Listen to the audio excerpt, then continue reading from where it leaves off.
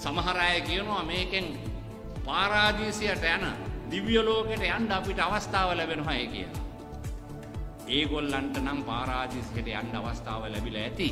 නමුත් මේ රටේ බහුතර ජනතාවකට පාරාදීසිය කොහේ වෙතත් අවීචීමා නරකාදියට යන පාර තමයි මේ කපලා දෙන්නේ. ඒ නිසා තමයි අපි කියන්නේ මේක සංවාදයකට ලක් කරන්න. මේක තියෙන අඩුපාඩු ගැන කතා කරන්න මිනිස්සුන්ට අවසර දෙන්න ඉඩ දෙන්න. ඒක දෙන්නේ නැතුව මේ ආණ්ඩුව මොකද කරන්නේ? ඒ විතරක් නෙමෙයි. හෙට හැන්දෑ වෙනකොට විවාදය අවසానයි.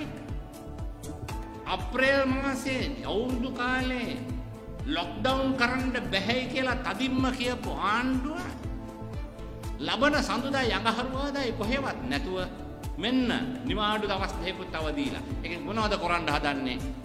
නීතිය සම්මත වුණායින් පස්සේ දවස් 4ක් 5ක් යනකම් මිනිස්සුන්ට පාරට බහැලවත් කතා කරන්න බැරි වාතාවරණයක් ඇති කරලා තියෙනවා. ඊට පස්සේ නීතිය සම්මත කරගත්තායින් පස්සේ අපි බලු කුප්ප ගන්නට